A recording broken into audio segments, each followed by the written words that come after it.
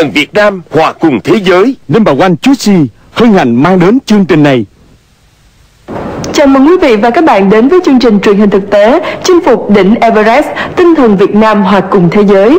Các vận động viên của chúng ta đang bước vào tuần tập luyện thứ 8 trong đợt tập huấn đặc biệt. Trong tuần này thì các vận động viên sẽ tiếp tục tập luyện để nâng cao thể lực cũng như kỹ năng leo núi. Những vách đá, những ngọn núi mà các vận động viên đang tập luyện có độ khó dễ khác nhau, nhưng khó hay dễ là tùy vào khả năng vận dụng những kiến thức cũng như những kỹ năng leo núi mà các vận động viên đã được học trong suốt thời gian qua.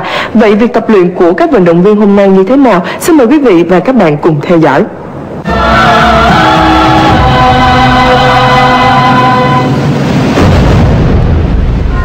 Trong trường hợp nạn nhân bị bất tỉnh hoặc hôn mê sâu, để đánh giá được tình trạng của nạn nhân, cần cố gắng thức tỉnh bằng cách hỏi để nạn nhân trả lời. Trong trường hợp nạn nhân được hỏi nhưng không trả lời, cần phải kích thích đau để thức tỉnh nạn nhân, tránh để nạn nhân rơi vào trạng thái hôn mê sâu. ví dụ như chúng ta nhìn thấy chúng ta vỗ ờ, bát vào mặt bệnh nhân hoặc vỗ vào bệnh nhân gọi to người ta để để đánh thức người ta dậy về về mặt thần kinh đấy vừa để mình đánh thức mà vừa để mình kiểm tra.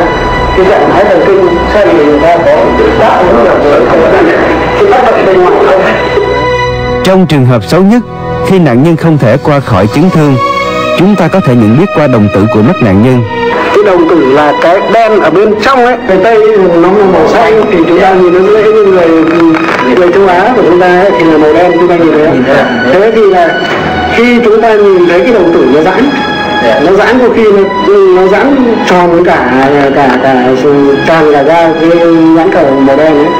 Thì là định hoàn toàn.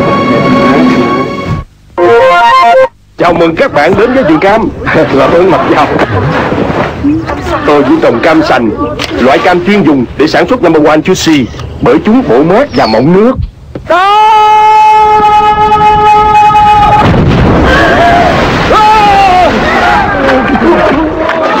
Number One Juicy với lượng vitamin C dồi dào rất cần thiết cho gia đình bạn mỗi ngày.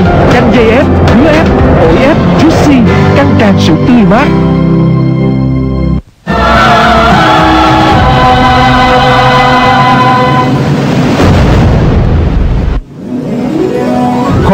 Tập luyện thứ 5 của 6 vận động viên leo núi Việt Nam tại Đa Tăng La.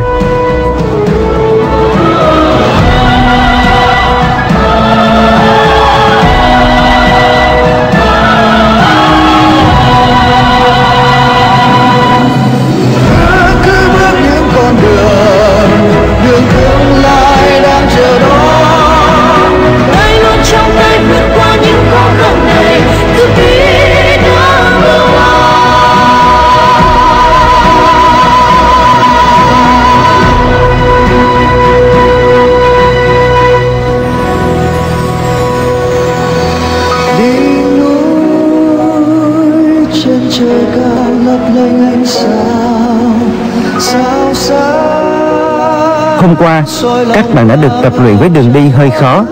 Một số vận động viên thực hiện thành công bài tập của mình, còn một số lại không thể.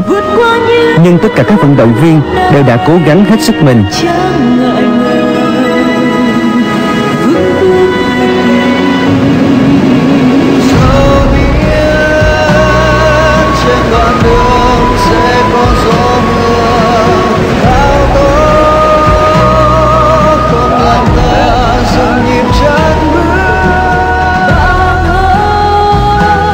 Đường đi của ngày hôm nay khó và cao hơn ngày hôm qua.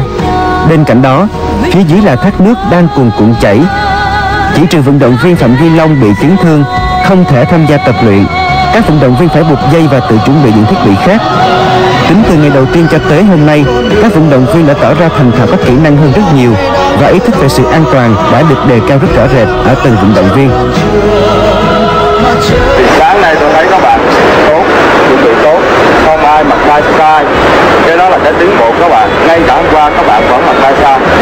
Nhớ nha và ngày hôm nay tôi thấy các bạn tiến bộ, tôi đã kiểm tra. Nhưng mà một điều tôi nhắc nhở các bạn như thế này. Thứ nhất tôi nhắc đi nhắc lại tinh thần đồng đội à, hỗ trợ lẫn nhau cái điều thứ hai tôi nhắc tiếp các bạn những lúc khó các bạn phải thuộc thật kỹ thuộc lòng không để như hôm qua hôm qua các bạn thắt số 8 còn sao được chưa và cái điều thứ ba tôi muốn nhắc nhở các bạn như thế này nè đừng có làm ảnh hưởng đồng đội Trong lúc đầu leo núi, các vận động viên phải mất nhiều thời gian do đường đi khó và đầy sỏi đá. Không ít lần các vận động viên đã gặp phải trở ngại khi thực hiện bài tập của mình. Nhưng khi bắt đầu tập luyện và mắc phải sai sót nhiều lần, các vận động viên bắt đầu tìm hướng đi và sự hướng dẫn của các thành viên điều khiển thiết bị relay ở dưới. Chính nhờ sự giúp đỡ này, vận động viên Bùi Văn Ngợi, Phan Thanh Nhiên và Lê Bá Công đã thực hiện thành công bài tập leo núi của mình. Ngoài những kỹ năng để thực hiện các động tác leo núi một cách chính xác, sự hỗ trợ của các thành viên điều khiển thiết bị hãm belay cũng đóng một vai trò quan trọng trong việc quyết định thành bại của cuộc chinh phục vách núi. Trong khi ba vận động viên này thực hiện thành công, vận động viên Vũ Thanh Minh, Nguyễn Mậu Linh cũng đã nỗ lực hết sức để hoàn thành bài tập cùng đồng đội. Nhưng tiếc thay, họ đã thất bại, đặc biệt là Vũ Thanh Minh.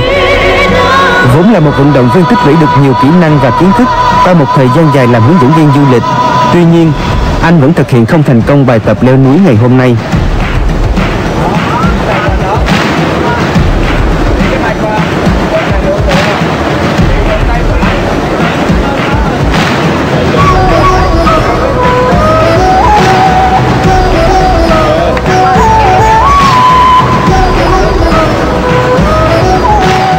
Ở đây là khác với những cái vách đá khác ở đây nó sẽ thẳng đứng và rất ít những cái điểm để mình bám vào như vậy chỉ cần mồ- mồ hôi ra một chút là mình cũng có thể là trượt tay rơi xuống Kết quả luyện tập ngày hôm nay không khả quan lắm.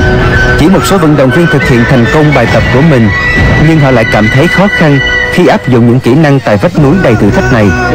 Ngày mai, các vận động viên sẽ tiếp tục tập huấn tại địa điểm này. Liệu họ có thể chinh phục vách núi này một cách thuận lợi? Xin mời quý vị và các bạn theo dõi tiếp vào chương trình ngày mai. Mình không thể nào tập trung được Tâm trí mình cứ lơ lửng chỗ nào. Những lúc thế này hãy dùng Kone Chỉ với hai viên cần lúc mát bừng lên. Giúp bạn tỉnh táo, sảng khoái và tập trung trở lại. Sẽ dùng Kone sảng khoái tinh thần tập trung trí tuệ. Tỉnh táo Tinh thần Việt Nam hòa cùng thế giới. Number Chu Si hân hạnh mang đến chương trình này. Quý vị và các bạn thân mến, ngày mai các vận động viên sẽ tiếp tục tập luyện tại vách núi mà hôm nay các bạn đã tập. Để có thể hoàn thành những bài tập như thế này, ngoài việc vận dụng những kỹ năng leo núi cần thiết của từng vận động viên, tinh thần đồng đội, sự hỗ trợ của các bạn trong đội cũng là yếu tố vô cùng quan trọng. Ngày mai các vận động viên sẽ tập luyện như thế nào? Vận động viên nào sẽ được đi tập huấn tại ASEAN Peak? Xin mời quý vị và các bạn cùng theo dõi trong các chương trình tiếp theo. Và quý vị và các bạn cũng có thể cổ vũ cho các vận động viên mà mình yêu thích bằng cách soạn tin nhắn theo cú pháp Everest dấu cách nội dung gửi đến tổng đài 8583 hoặc gọi đến hộp thư thoại 1900 1718. Để cập nhật thêm thông tin và những hình ảnh mới nhất của các vận động viên leo núi Việt Nam, xin mời quý vị và các bạn truy cập vào trang web www.everestvietnam.vn. Chương trình sẽ được phát sóng vào lúc 20 giờ 20 phút tối thứ hai, 21 giờ từ thứ ba đến chủ nhật hàng tuần trên kênh HTV7 và phát lại vào lúc 23 giờ 20 phút mỗi ngày trên kênh HTV9. Xin chào và hẹn gặp lại trong chương trình ngày mai.